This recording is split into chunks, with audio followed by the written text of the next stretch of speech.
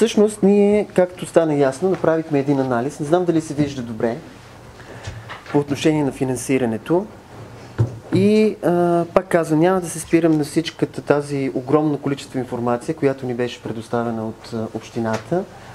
А, акцента на този анализ е функционирането на, а, комплекс, на центровете за настаняване от семейен тип, които са в Добрич.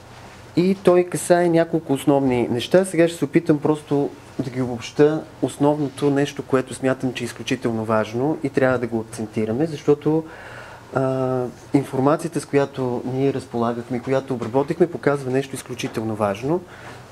Искам само да подчертая, че става въпрос, всички данни са от 2016 година, т.е.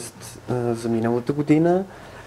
И т.е. тази година може би са по-различни, може би не, но смятам, че това е а, важна, важен извод и важна информация, която, която излиза наяве. Може би за всички по някакъв начин тя е била а, ясна, че нещата стоят по този начин, но аз мятам, че е добре да а, по, по такъв начин да, да бъде представена и обобщена.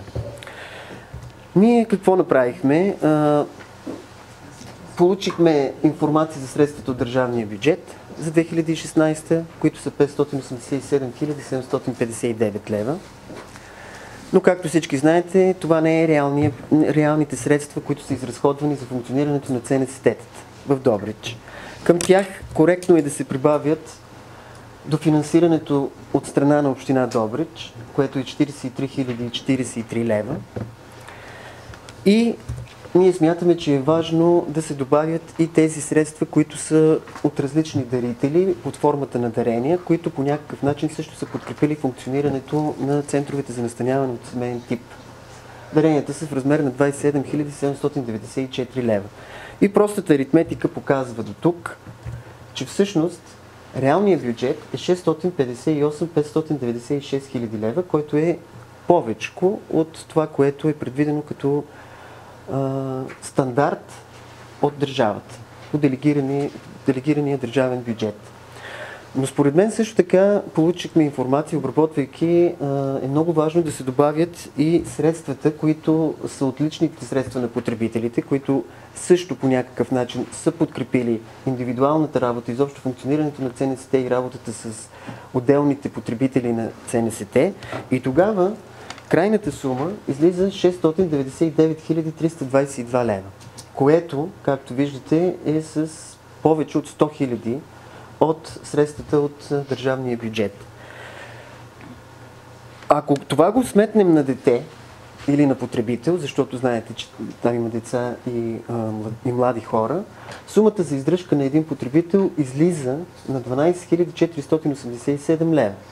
Единният разходен стандарт за 2016 година е 9320 лева, т.е. ясно се вижда, че 3000 лева реално са изразходвани повече, дори повече от 3000 лева на, на потребител, което не е никак малка сума. И това е нещо много важно, което би трябвало да се анализира, допълнително да се анализира, да се, да се коментира, да, да има някакви работни групи, за да се види всъщност кои са реалните разходи. Колко са повече от тези, които държавата планира и каква, за какви неща всъщност е необходимо да се подсигурят средства и кои са основните разходи, където тези средства, предвидени от държавния бюджет, не достигат. Така че това е един много важен проблем. А, недостига на средствата, т.е. реално изразходваните и тези планираните, т.е. винаги има една празнина, която очевидно се поема винаги предимно от общините, но също така се търсят и други форми за, за покриване на тези, на тези липсващи средства. Но според нас това е единия проблем. Основният проблем обаче се корени в тези, не знам дали виждате добре, тези три картинки, които по някакъв начин отразяват две различни философии на финансиране на, на, на услуги, които са свързани с хора. И трите картинки показват нещо много специфично. Че когато имаме едно и също, една и съща подкрепа на хора с различни потребности. Ето виждате по-висок, малък, среден и ако са с една и съща подкрепа, виждаме, че по-високия е станал още по-висок, средния е станал малко по-висок, а този най-малкия, получавайки тази подкрепа, продължава да има някакви проблеми. Тоест тя не му, нямаме достатъчно основа да се подкрепи и да се предостави такава, такъв тип услуга, която съответства на неговите нужди и потребности. И альтернативата е потребности различни, следователно може би и различна подкрепа. Подкрепа такава, която на по-нуждаещите се да предоставя възможност за повече и различни услуги.